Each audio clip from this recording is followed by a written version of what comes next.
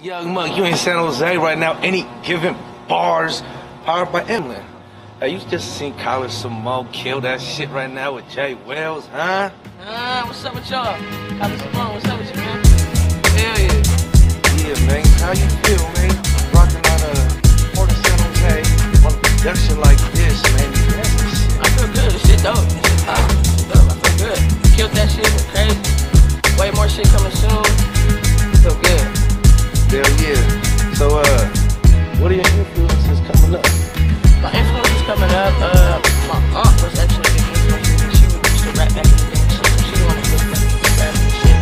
But I was born in the 90s, so I grew up off like 2000 music and shit. So like Eminem, Lil Wayne, fucking, uh, Drake, fucking, all types. I got all types of artists that influence me, but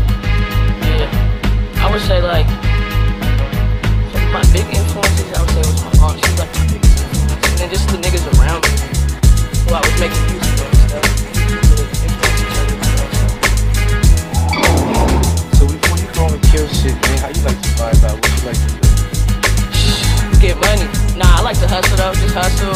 I be pushing my mixtapes and shit, making music,